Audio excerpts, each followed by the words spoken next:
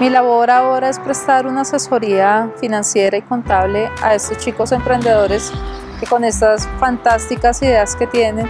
puedan llevar a cabo y puedan materializar esos sueños que un día pusieron en papel y que ahora lo están ya haciendo de una manera más, mm, más formal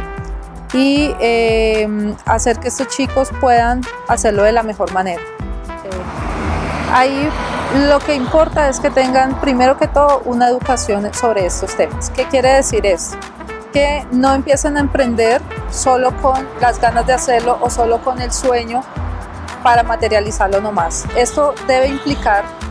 una, un conocimiento en los temas contables, en los temas tributarios y en todo el tema legal que esto conlleva. Es decir, si vamos a formalizarnos como empresa, esto tiene ciertos pasos que se deben hacer antes de que empiece a, a operar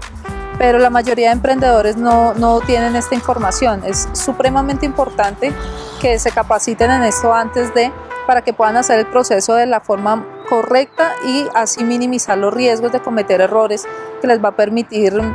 más adelante tener posibles sanciones o posibles contratiempos que van a entorpecer esa labor que quieren, que quieren hacer.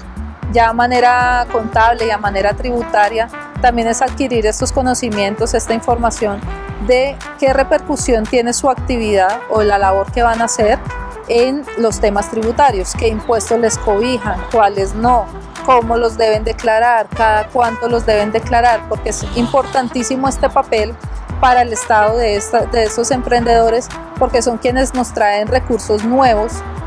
y quienes em, por medio de esa labor importantísima que van a hacer van a permitir que el gobierno tenga aquellos recursos que necesitan para sus obras sociales. Si no se hacen de buena manera,